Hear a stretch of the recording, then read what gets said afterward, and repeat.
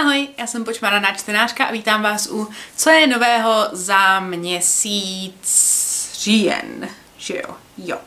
A za ten měsíc to bude velice krátké video, už jste si asi všimli na dílce, než jste si to vůbec pustili, protože já jsem byla velice hodná, jakože fakt, fakt, fakt hodně hodná.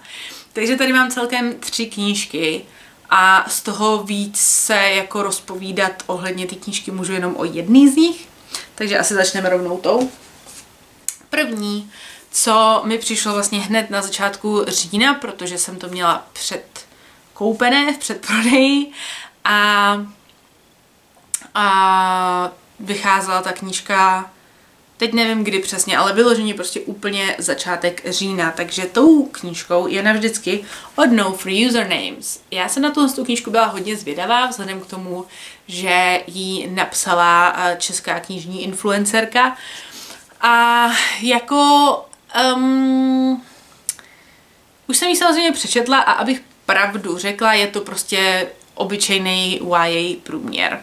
Nic extra objevného. Nicméně, je to knížka o May, May Bradleyové, která má nejlepšího kamaráda, má nejhoršího nepřítele, který s chodou okolností bydlí, takže si vlastně vidějí do oken, je to vyloženě soused, jejich matky se kamarádí a oni jsou už od malička hrozní nepřátelé. A má vlastně jednu kamarádku ve škole, o který se toho moc nedozvíme, abych pravdu řekla. Nicméně prostě žije si svůj normální život až na to, že si velice bolestivě uvědomuje, že je nešťastně zamilovaná do svého nejlepšího kamaráda a bojí se mu to říct, takže eh, my tady budeme sledovat průběh toho, jak mu to řekne a co se stane a co se bude dít dál a jak to dopadne.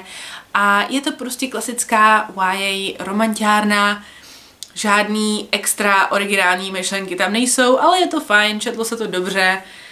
Když nad tím moc nepřemýšlíte, tak vám ani nepřijde, že ta hlavní hrdinka je vlastně neskutečně protivná. Pardon.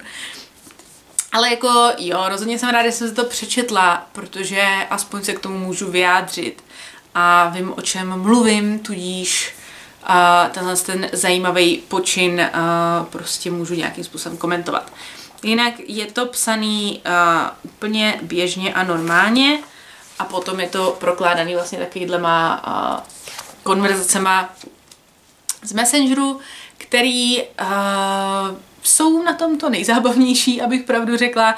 Je to tam prokládaný i několika fotkama a podobně a je to jako hodně dobře psaný uh, z pohledu toho, že je to takový jako realistický, že takhle spolu lidi fakt komunikujou alespoň v těch zprávách. Ale jo, jako je to zajímavá knížka, rozhodně nelituju toho, že jsem do ní dala ty peníze, ale že bych ji nějak hrozně doporučovala, to se říct nedá, bohužel. No, a potom tady mám dvě další knížky a obě dvě, dvě jsou na větrné hůrce.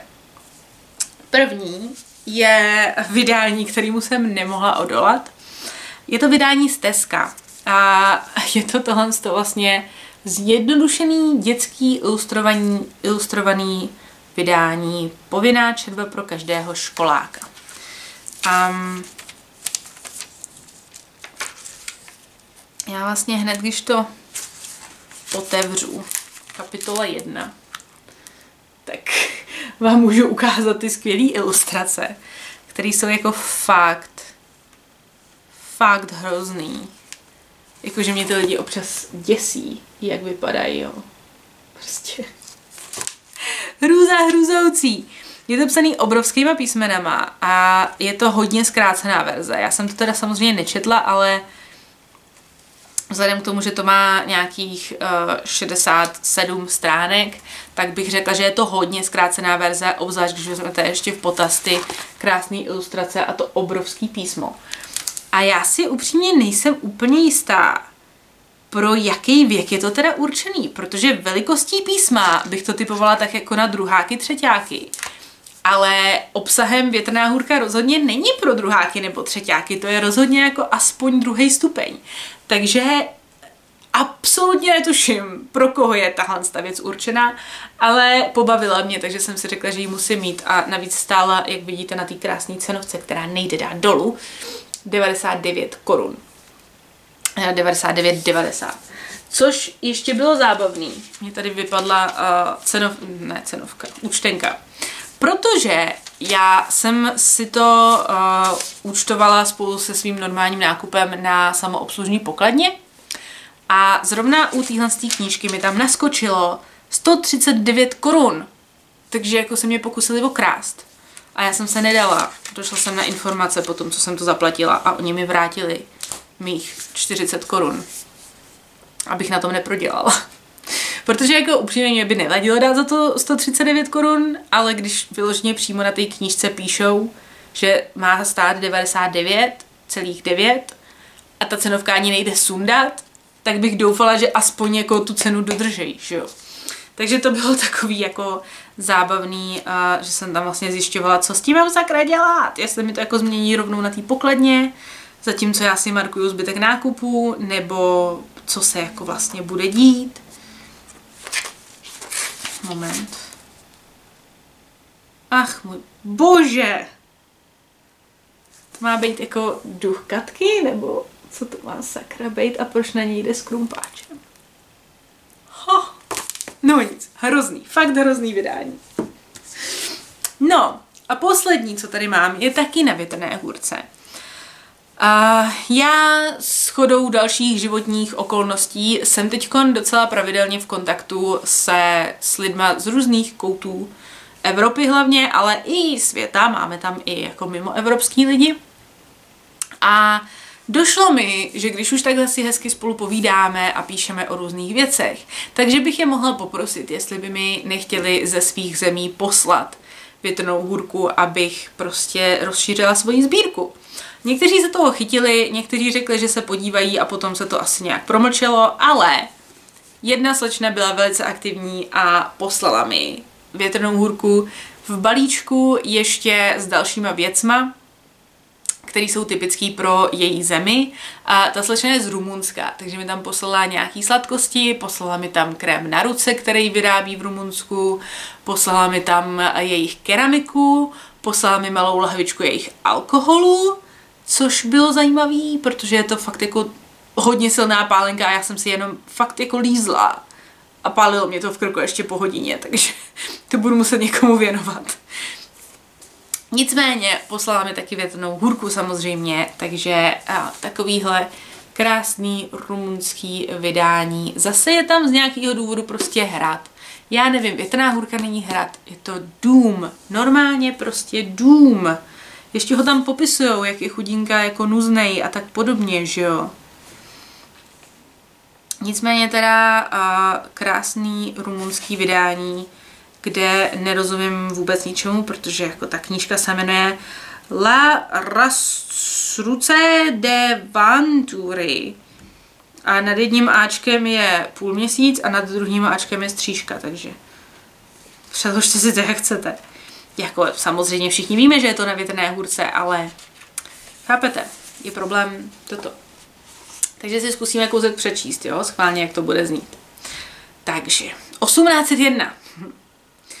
Adineauri am intros din visita faculta posacului meu prorierta si vecin signora factura care ar putea sama mai tulbure aici. Intr a... Oni mají? Jako to, co jsem četla na začátku m, pomlčka a m je jedno slovo. Není to jako rozdělený na řádek, je to prostě jedno slovo. Tady zase intr, pomlčka adevar. Jedno slovo. Intr, pomlčka un. Co to je za jazyk, do prčic?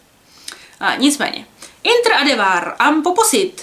Intrun tinunt minunat. Desigur ca n pomlčka as. Fi putut alege din toata Anglia. Un loc mai la adepost de orice Framantare omeneasca. To je strašně divný jazyk. Jsem nečekala, že to bude takhle moc divný jazyk. Nicméně já myslím, že to jako ukázka stačilo. Takže rumunská větrná hůrka, zase nějaká jedna země, kterou jsem ještě do té doby neměla. Takže super, velice vzácný přírůstek, kterýho si budu rozhodně hodně vážit.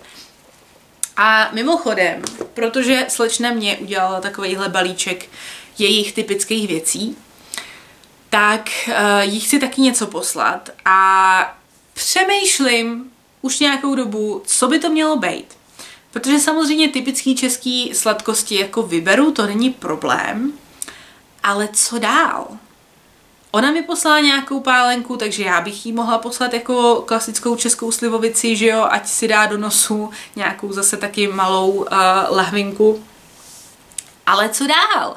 Vzhledem k tomu, že já jsem tam jako hlavní dárek měla tu větrnou hůrku a já netuším, co ta slečna má ráda nebo nemá ráda, tak se dost jako těžko něco vybírá. A zase do toho nechci úplně vrazit jako hrozný prachy, protože se blíží Vánoce a jako potřebuju investovat do jiných věcí, takže přemýšlím, no. Přemýšlela jsem nad něčím s krtečkem možná, ten je takový jako hezky typicky český. A jinak netuším. Takže jestli máte nějaký nápady, čím bych mohla relativně levně a jednoduše uh, reprezentovat Českou republiku, aby to šlo dát do balíčku a poslat do Rumunska někomu, koho prakticky neznám, aby to nebylo nějak urážlivý nebo tak, tak mi to napište do komentářů, protože jinak se tam nebudete mít moc k čemu uh, vyjadřovat vzhledem k tomu, že tohle jsou všechny nové knížky za celý měsíc. A pochvalte mě, protože jsem byla vážně, vážně hodná a udržela jsem se a nenakupovala jsem. Takže jako, já myslím, že si tentokrát tu pochvalu fakt zasloužím. OK, tak jo, takže to je všechno. Vy mi dolů teda napište, čím byste vy reprezentovali naš, naší republiku a mějte se krásně. Ahoj.